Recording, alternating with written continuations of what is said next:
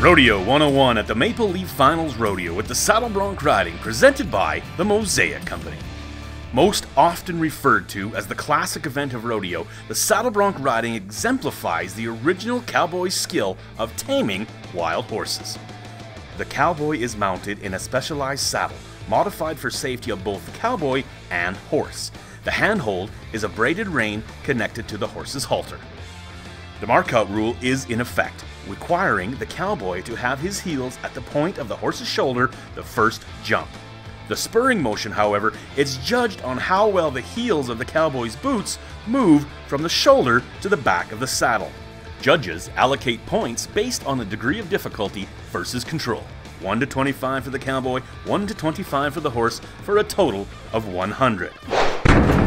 That is your saddle bronc riding in Rodeo 101, brought to you by the Mosaic Company at the Maple Leaf Finals.